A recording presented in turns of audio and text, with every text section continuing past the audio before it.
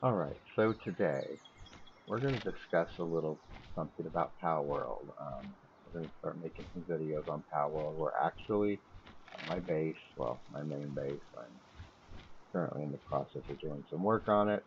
Obviously, it's going from stone to wood slowly. I mean, from from wood to stone, my bad. um, because obviously if you have a stone house and stone gates. These were all stone at one point, these gates, but they have been getting attacked by raids.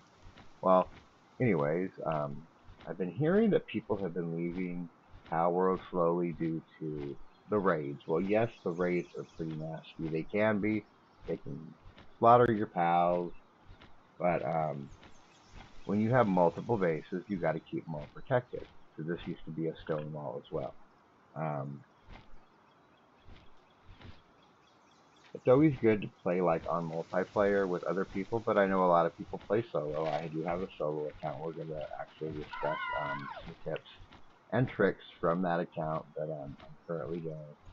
But yes, if you want to make a house, if you are playing Palworld, you want to eventually get to stone, at least stone, um, because you know with the fires that those raids bring in, yeah, that's not a good thing, and they can really do some damage. But um, I just kind of wanted to give you guys a little heads up on when you do find your main base and you do decide to make it. Yeah, go with at least stone because stone ain't so hard. Um, we're gonna get into some actual videos I'm gonna be doing on breeding, on different types of pals you wanna you wanna get. Um, but yeah, um, I will talk to you guys in the next short.